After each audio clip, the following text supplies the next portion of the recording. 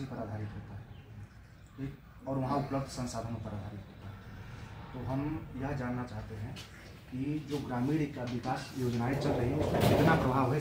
सामाजिक कम करने में कितना योगदान है